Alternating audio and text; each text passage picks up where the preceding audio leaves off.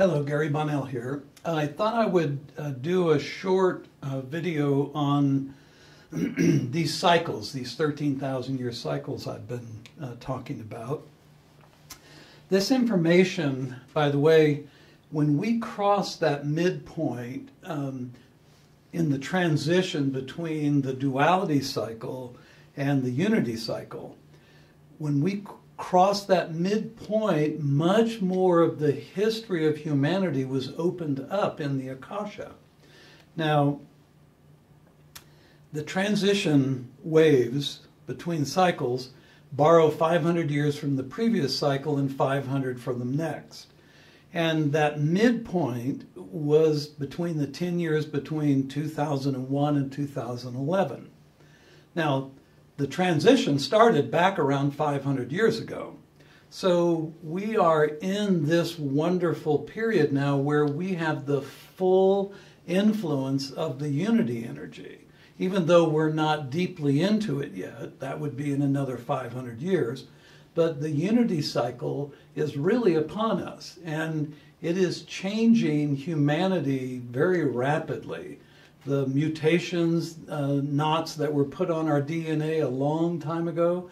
Those are being, some of them are being activated. Uh, the one that's really causing a lot of uh, change in consciousness is the um, mutation knot that is taking humans into a non gendered state. Now, some of my friends are going, non gender, you mean we won't have male and female? What about what about sexual pleasure? And, you know, a lot of base uh, conversations. oh, yeah. So, um, if you can imagine being able to do a high five to somebody in the future and having more of a pleasure experience from that than you would ever have had in the short pleasure experience of sexual union. So, so when, when we think of this, we, we can't think of it in terms from the duality cycle. It's the unity cycle, and, and this connectivity thing that's happening is going to be pretty amazing. Now, this transmutation, uh, transmutation knot to non gender is causing first the consciousness uh, to begin to shift. That's why we're getting a lot of people not identifying with their assigned uh, gender at birth. So a lot of things are, are really beginning to take place. But what I wanted to do was um, first, what I'm going to do is basically put up some angelic uh, data. Um, This is um, angelic lettering is what was used in the um, what we think of as the uh, uh, period, and a lot of people uh, who have witnessed this kind of languaging, um, they've uh, you know basically talked about it being uh, a certain way, and and there's a lot of uh, conversation about it. And uh, to be honest, um,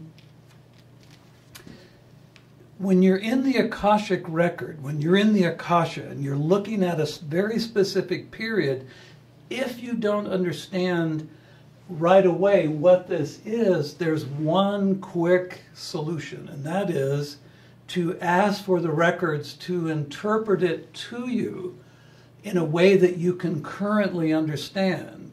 And what happens is then all of these associated symbols become connected to what we would think of as words. But there it's really not a language, it's a telepathic communication. But there are symbols for that. So I just wanted to make sure that we were we're on the same page with that and understand why I'm doing this. Okay, so um, the the 13,000 year cycles. So let's call this the midpoint. Here's that 2001 2011 period. That was that's the midpoint. Now, again, what happened, as soon as we crossed this midpoint, a huge amount of information was suddenly available in the Akasa, Akasha about uh, humanity's journey on Earth and the development of humanity. And if we go back 13,000 years, in this period, uh, we see um, this duality cycle. And, and that duality cycle might look like a, a kind of a, a, a dive into uh, conflict, basically, where the spirit will do anything to survive, in, including um, the acts of war, the, all these things that we've experienced. This cycle back here was the Atlasia cycle, and that period of time, that's so back here is where uh, the Great Pyramids were built. Um,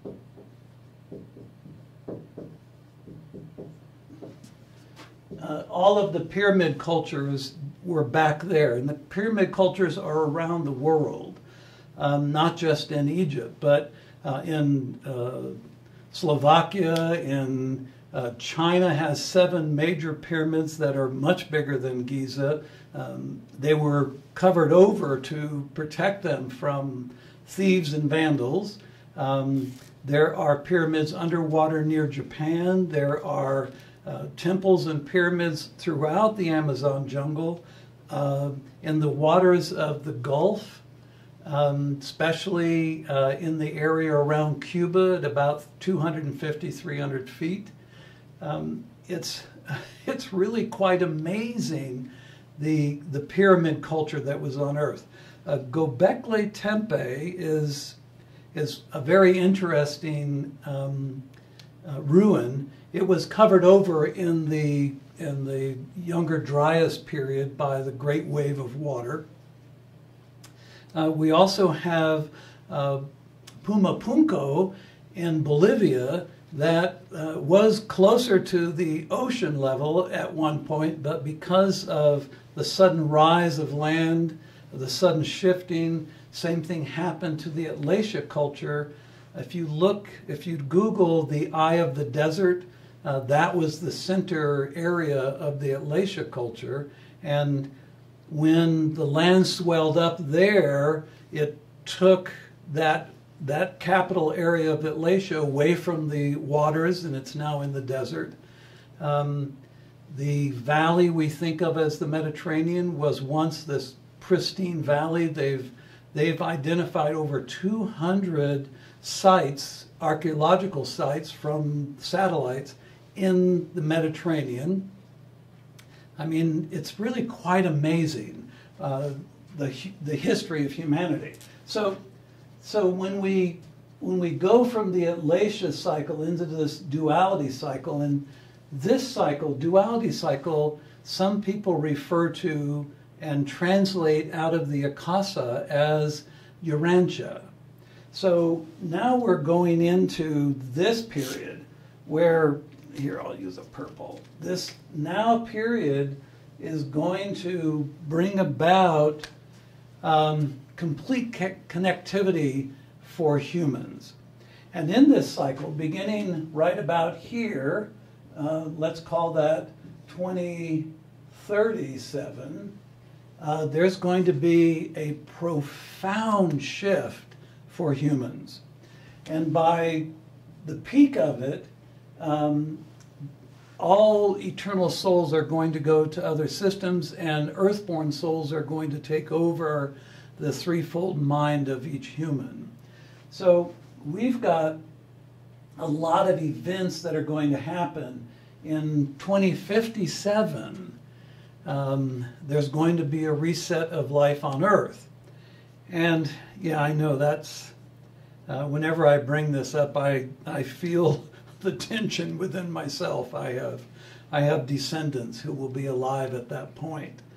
Um, what this is is that if you look at the earth and and you look at all the different cycles of you know the rise and falls of of life if you look at all of that you know uh, people say, well, you know, they the pyramids were built and then those people died off and the culture died off.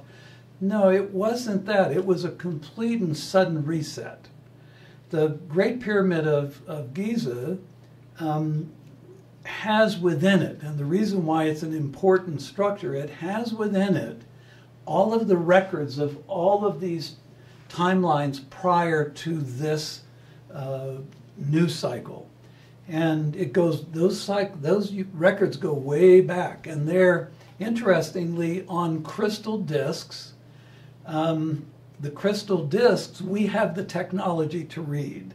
We can store data in crystal and we can pull data out of crystal. So it's going to be real interesting when the war in the Middle East uh, takes off the top of the pyramid, and that chamber that this is all held in is then exposed.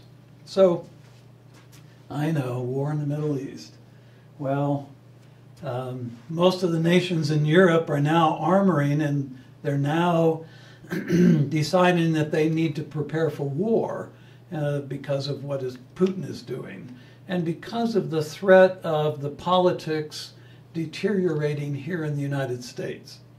So, um, go back to the reset. Uh, the people that built all that those structures are no longer here because of a reset. Uh, the Bible calls it the Great Flood. Um, every culture on earth has a flood myth or a flood story. So when we look at humanity, humanity has gone through this over and over and over again at one point, the reason why we all share uh, the same basic, same DNA, is at one point the population of humanity was down to 30,000 individuals. Now, um, it's going to be down to about 500 million. That means 8 billion humans will no longer be on the planet after this big reset. And if you want to know what the reset is, the sun releases plasma, you know, constantly. That's part of its, its mechanism. And when the Earth is in direct line for one of those great releases, the last time it hit Earth, the Grand Canyon was created. There was a beautiful inland water uh, way that when that hit, that water rushed down that scar and created what uh, archaeologists say uh, was water creating the Grand Canyon. Well, it was the sun. And at the same time, Mars had a glancing blow. And when it was more of a glancing blow than we had, and when you look on Mars, there's a, a near identical scar, but their scar would go from LA to New York. And then there was a planet that was orbiting uh, Jupiter, and that planet was called Maldek. And that planet had a direct hit and was totally destroyed. And that's the asteroid field between Mars and Jupiter. So, yeah, we're at that stage. We're basically what Christians might call end times. Um, you know, uh, all of this is kind of, you know, it's, it's worrisome, it's devastating, yes. And it's what happens, it's the cycles of life on Earth. Gaia will reset life on Earth as Gaia has done uh, at every other point. Uh, there will be earthborn souls that take the place of uh, eternal souls. So when Earth renews, the humans on earth are going to be body, spirit, and soul of the earth. Um, imagine on the planet uh, every human having the same type of consciousness as Jesus Christ or Mary, uh, Mary Magdalene and Mary of Sepphoris. So when you think of that, everybody being a Buddha, everybody, you know, uh, you know, having the profound intelligence and connectivity so, yes, it's a reset. Sorry about that. Now, before 2037, that major the major shift in collective consciousness, um, there's going to be in 2027, a short period from now, a a revelation, and that revelation is going to be that those uh, off-world beings that have helped guide the development of modern humans, the expansion of our intellect, the ability to have all this technology, um, that um, those beings are going to reveal themselves and say, Here we are, we've been here all this time. Yes, we have been leaders in, in past timelines. Yes, we, we have been cultural leaders in past timelines. Uh, we're here. Um, we want you to know that we're here to help in this transition that's going to take place. Um, you know, that whole idea of Noah having a boat and putting two of everything on it, uh, that's not actually what happened. What happened was there was a group of off world beings that took life off Earth, uh, the majority of life off Earth, uh, to an adjacent dimension where life went into a suspended state. And it's, it's really kind of a technology they use, uh, these off world beings use, to, to go from system to system. So it's this transmigration technology. and uh, when Earth was suitable again, human life was, the vibration and frequency of human life was again placed back on Earth's surface and taken out of suspension. So for those forms of life, there would have been no time experience. It would have they would have been suspended. So I know that sounds wild. Um, I don't think it's any more wild than, than a little boat holding two of everything on the earth. So, anyway, um, any questions about this? Please uh, put them in the comments. Um, you know, Facebook or or my website, uh, the Knowing Way dot online, or in in uh, YouTube. So um, this is a big subject, and I I love talking about it, and I've given quite a lot of information on it over the years. And uh, I appreciate your listening and uh, hope to connect up with you guys again soon. Thanks. ご視聴ありがとうございます。次の動画でお会いしましょう。Thank you for watching. See you in the next video.